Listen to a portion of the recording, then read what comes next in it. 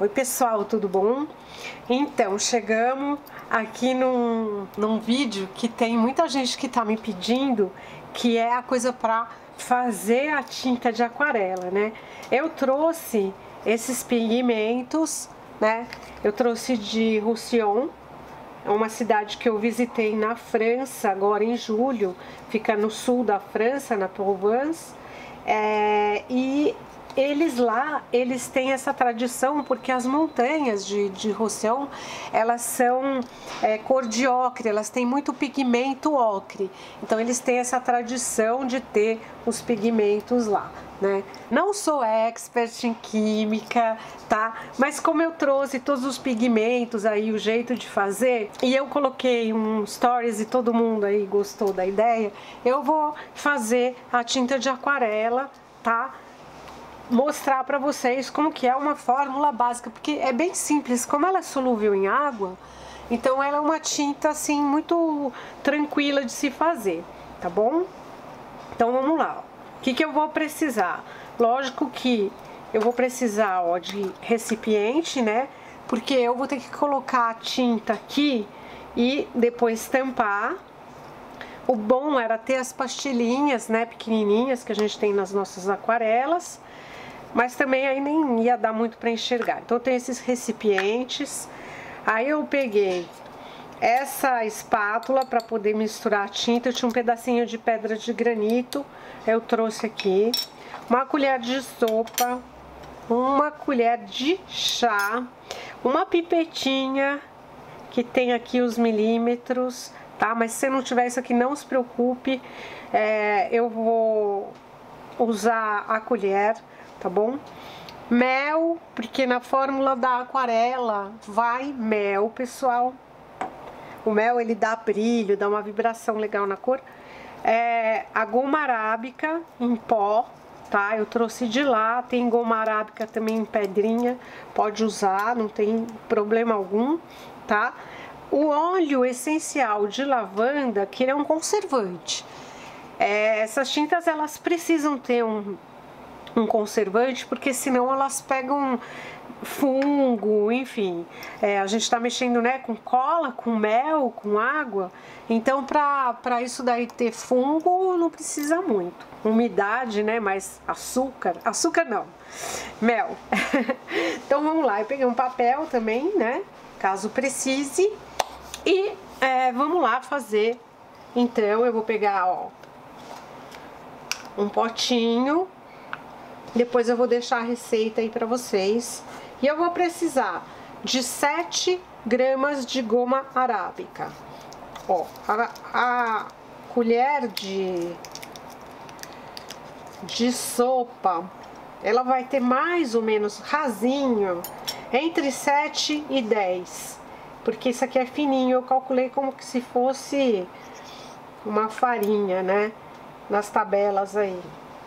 É o que eu falei, o certo seria uma balancinha, a gente pesar, mas é, eu não tenho, nem sou expert, nem é o, o caso. Ó, aqui eu acho que já tá suficiente, né? A gente já tem aqui 7,5, 8 gramas de goma arábica. Tá aqui.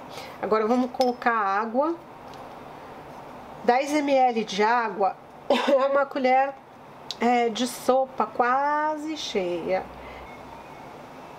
Vamos pela colher aqui. A gente precisa de 10. A colher, ela, ela tem uns 15 ml. Então, ó, vamos colocar, eu acho que aqui já é suficiente. Precisar mais, igual receita a gente coloca, tá? 3 a 4 gramas de mel. Eu posso pôr 3 gramas de mel e 1 grama de glicerina. Eu não tenho glicerina, eu vou colocar mel, tá? E o óleo essencial. Só que, o que, que eu vou fazer aqui, pessoal? Eu vou misturar antes a, a goma arábica com água, né? A hora que tiver já uma solução mais ou menos homogênea, Me desculpem os químicos, mas não é minha praia, não sei falar termos técnicos aqui disso. Eu vou pegar um pouquinho mais de água, porque eu já percebi que isso aqui tá fraco. E vou misturar com a colher também. Melhora os métodos culinários. Deixar, a gente tem que dissolver bem eu acredito, pessoal, que aquela goma arábica é, em pedrinha, ai, que ela quer uma casquinha, eu acho que aquela tem que ficar é, de, de descansando um pouquinho. Aliás, um pocão, umas horas. Mas aí eu não sei, daí você só segue a instrução, né, do, do fabricante se você for comprar a goma arábica em lasquinhas. Acho que precisa de mais água. Porque eu vou mostrar pra vocês, eu tenho, eu trouxe de lá, ó, isso aqui, que é uma mistura já pronta dessa receita aqui que eu tô fazendo. Então, ó, eu tô sabendo que isso daqui tem um, uma consistência, ó, não sei se dá pra vocês verem, mas ela parece, ó, tá vendo? É um... Eu já tiro aqui do, do vidro assim que eu terminar. Ela é um pouquinho mais diluída do que isso que tá aqui. Tem que desmanchar todas essas pelotinhas que ficam. Eu, eu acho que precisa de um pouquinho mais de água. Tem uma consistência assim, um pouco mais aguada do que o mel. Essa mistura tem que deixar ela umas 8 horas descansando. Mas eu não vou deixar, eu vou fazer ela, ó. Eu acho que eu agora já cheguei num ponto que já tá bem, tudo bem amassado, bem batido. E eu vou colocar o resto, que é o mel,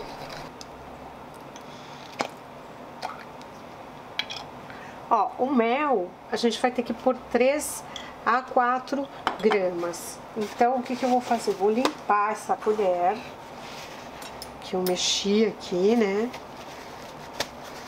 Deixar ela bem limpinha, né? E eu vou colocar 3 quartos de colher de chá de mel é suficiente. Bem caseirinha, né, a receita.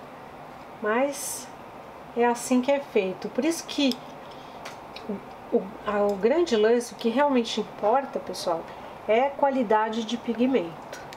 Lógico, qualidade de ingrediente, né?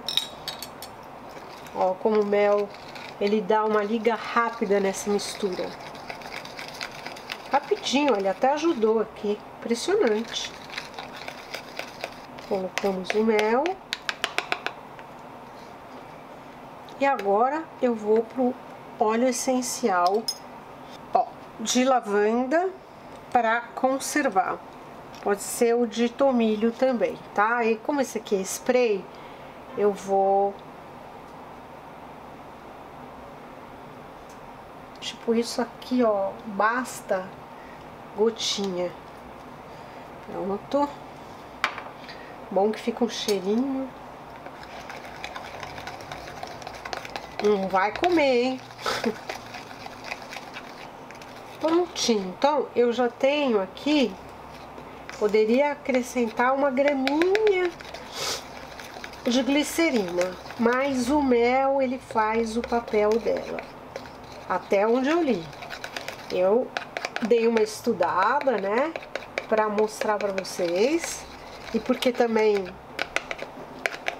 me deu muita vontade, eu comprei muitas cores, tá? Então, aqui tá, livrar um pouquinho a área aqui. Aqui tá, assim, a nossa mistura, tá? Básica, que é igual essa mistura que a gente compra pronta lá, né? Eu quis trazer também os pós para poder testar fazer do começo até o fim, porque senão eu fico dependente, né, disso daqui, isso aqui não deve dar muita coisa. Então, por isso que eu fiz isso daqui. Só que agora, pessoal, essa mistura, ela tem que descansar de um dia para o outro, tá? Então, é, eu vou deixar ela descansar. Vou deixar a receita aí para vocês. E no próximo vídeo, a gente vai fazer algumas cores é, de aquarela, tá bom? Então, tá aqui, ó. Essa aqui é a consistência, ó. Tá?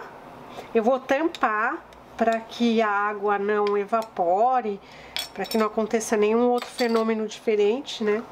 Ó, vou ficar tampadinho aqui e vou deixar descansando por 12 horas aproximadamente, tá bom? Eu espero que vocês tenham gostado. Vou deixar a receita. Se vocês gostaram, deixa aí o seu like, tá?